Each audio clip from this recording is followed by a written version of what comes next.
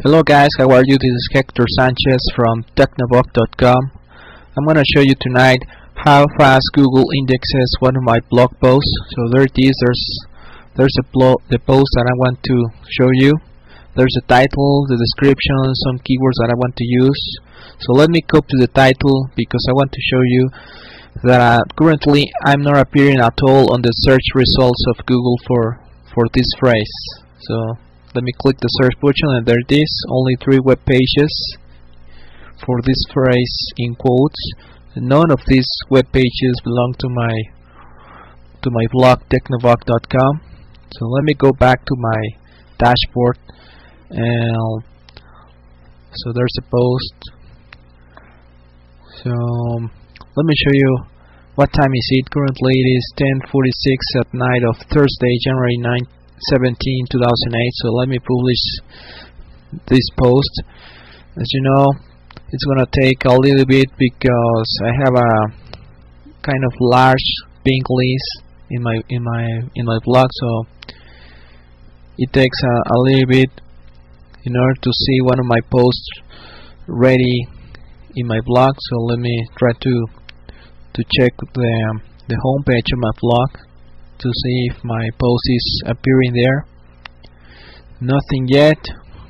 It's gonna take a little bit so it is 10:47 of Thursday 17 January 17 2008 so let's wait a little bit five minutes later. Let's check again on the search results. Let me click the search button. Nothing yet. Still the the same three web pages let me check. Yeah there it is. My my blog is is already showing the post.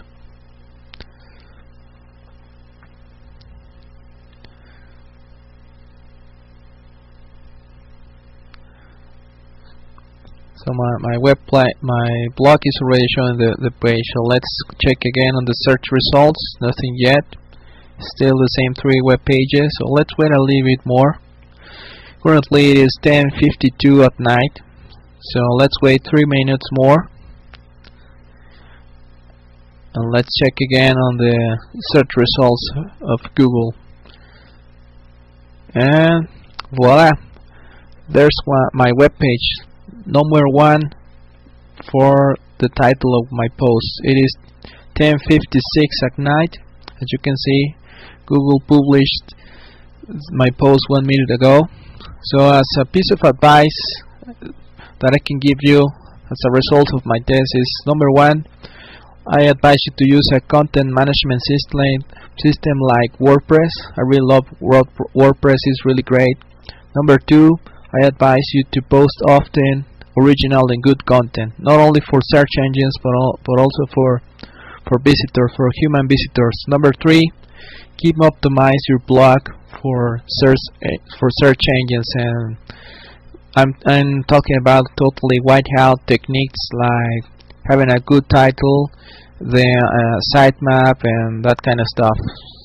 And number four try to get as much authority links in a natural way as possible. This is like in real life in our case uh, we try to get reputation but it's you know it's not it doesn't happen overnight. It's gonna take a while. So it's the same thing for your blog. You need to earn your your reputation over time.